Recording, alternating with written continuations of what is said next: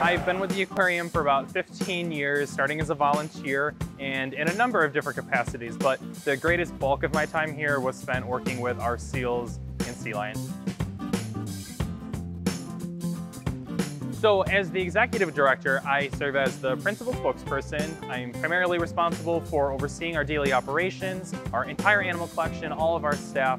Fundraising is a tremendously important aspect of the work that I do, ensuring that our organization is able to be sustained financially into the future. And of course, the best part of all of that is being able to help guide the strategic master plan for the aquarium.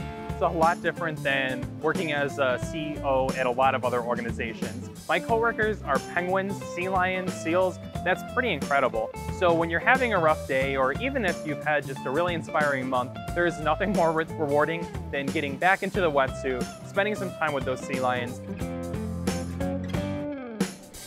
very fun to watch because um, one of our sea lions, Kaya, he's actually, um, he's been here since she came here about 10 years ago or so.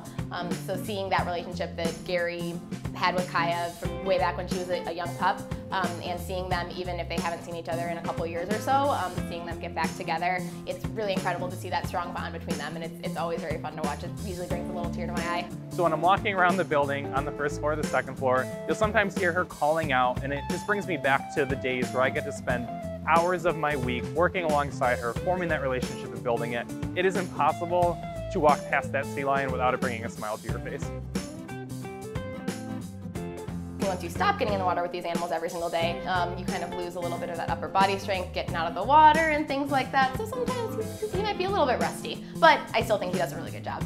So one of the things I think that is most important is making it a point and a priority to spend some time with the animals, to spend some time working alongside the staff that care for them, understanding how their roles and jobs have changed over the years. So it's an important aspect of my job to be able to do that. And along the way, it's a lot of fun. You get to spend some time, you know, taking your hands off of the keyboard and getting them into a bucket of fish. And that's a lot of fun.